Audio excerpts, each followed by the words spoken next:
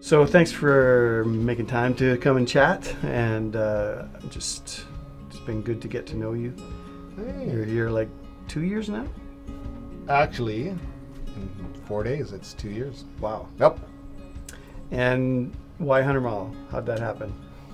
It's a good question. I, I mean, never really had it on our radar to come up to the Cariboo. Just sort of unfolded. We were living in Hope for five years. We're completely immersed in our businesses, and uh, Cindy, more than myself, just had this sort of the strong urge. I mean, we definitely prayed about coming up here, but I wasn't getting any clear green lights. Like, oh yeah, this is the thing to do.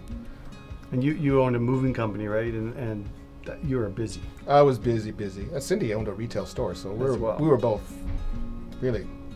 Why are we coming up there when we've got so much going on down down south? I think uh, you know we just sort of took a good look at uh, where we were going with our lives and said, you know, we got to dial down a little bit, and uh, we wanted to do some horses. And so we did. We got some horses and brought them up on moving day, and got a big dog. Never wanted a dog. Now got a big dog. it's uh, you know behind all the layers i think obviously you know we, we pray about all things that we do so i'm you know i'm sure that we're in the right place Well, yeah, and, and we're so glad because you really just sort of fit right in with the Band of Brothers, and we do a lot of moving stuff. And it was like, hey, now we got a bit of an expert, and that's Yeah. awesome. And yeah uh, people getting to know you. It does take a while. How did you How did you even sort of get into Christianity? i mean the year that the year that cindy and i married was the year i came to christ you know i mean i was uh, i think i was 18 when i when i met cindy but prior to that i had lost a very very close friend he drowned uh, up uh, up in Kamloops in a lake, and that really, really shook me up. See, I grew up in a home where we, you know, we had no uh, value system as far as Christianity, no no upbringing, no Sunday school, no nothing. And but I was just broken when my dear friend Rod died. We were both the same age, so. Wow. Um, and I cried and I cried and I, you know, I come from a German background, not a lot of emotions. Everything is sort of like, okay, pick up the pieces and get on. But that one really crushed me, and I recall crying out to God when when this situation happened with Rob. And I said, you know, if you're out there, I'm I'm hurting. Just like I I just couldn't stop this grieving process. And I kind of left it at that, and within short order, um, you know, I was working up in Vanderhoof, up in the mills up there. You know, back in the late 70s, I was making like $14 an hour, which I thought I was a millionaire. All that- uh, you know, I was really far removed from my family, and I wanted to come home and see my family. So I did. I did eventually come home at some point, and uh, when I went, went to visit my parents, there's this girl living in our house because my parents turned our very large home into a kind of like a, a rental boarding house, and there was this really cute girl in there. I said, "Mom, who is that girl?" Oh, that's just this new girl that moved in. Her name is Cindy. And I was, like, "Oh, yeah, okay." So, you know, I knew her actually, sort of, from high school.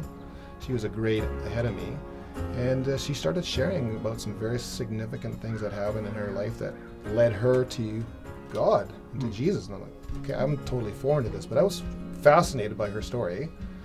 And so that was probably the drawing thing in. It was funny because she said to me when, uh, you know, as time passed, and I think, you know, by the time we were married, she says, you know, the day that I saw you, God told me that's going to be your husband.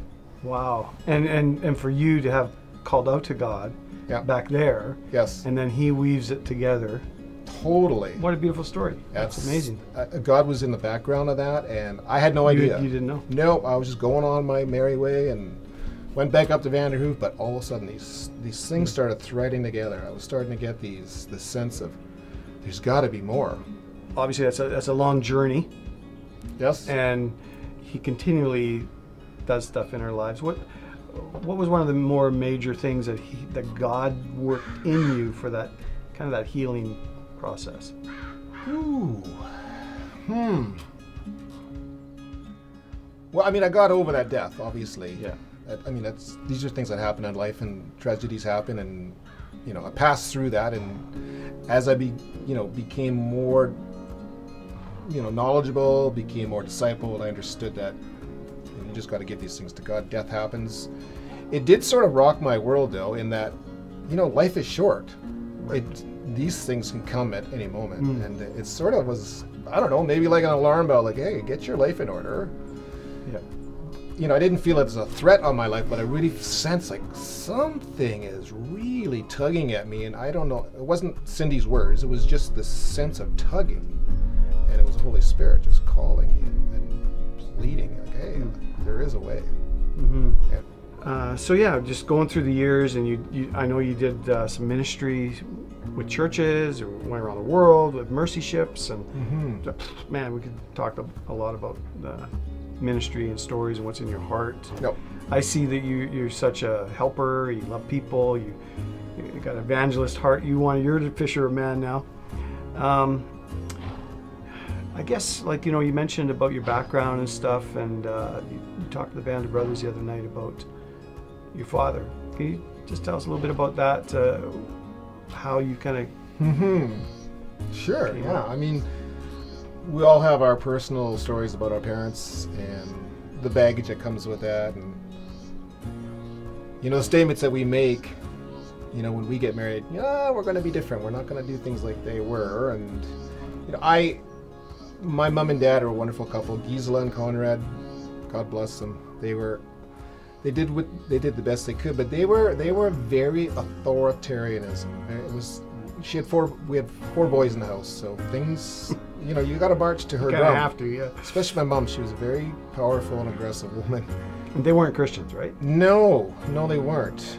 You know, and when I became a believer, they were like, you know, okay, yikes, good for you. You needed that crutch in your life, but you know, don't be, don't be bringing this up in our house. And I was like, oh, okay. You know, I was by then I was pretty well 18, so with growing up in that sort of a home, we were always sort of on an edge, and we had to toe the line and get things done. We lived on a farm. There was all kinds of stuff to get done, and uh, there was no time for you know leisure and being on sports teams and hanging out with our buddies on after school and playing video games.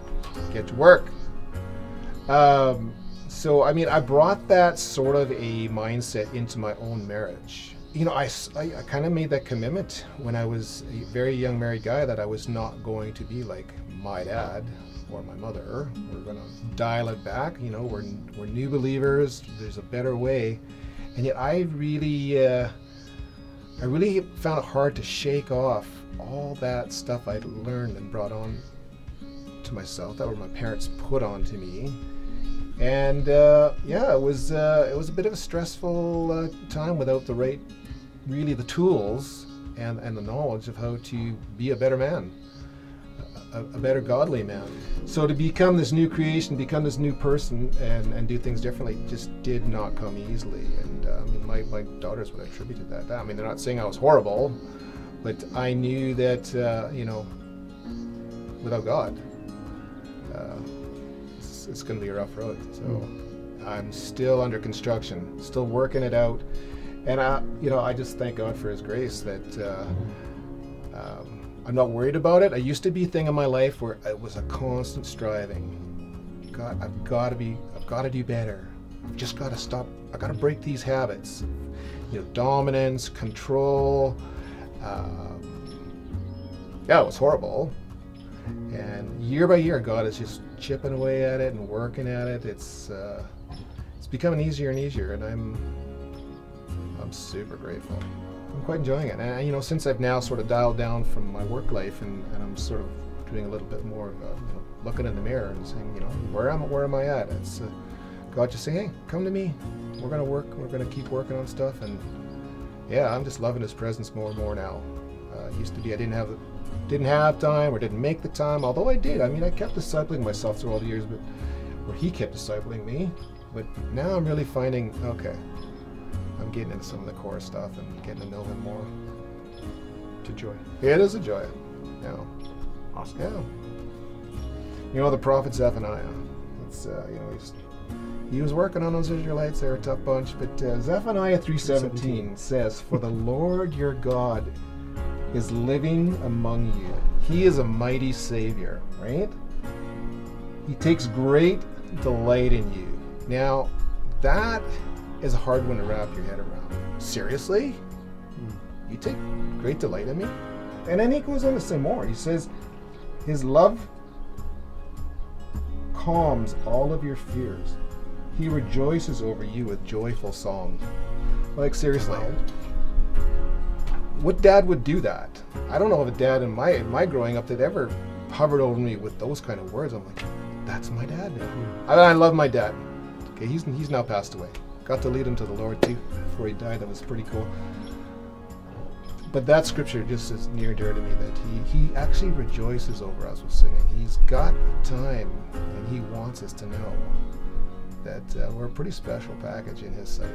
I'm super, super grateful.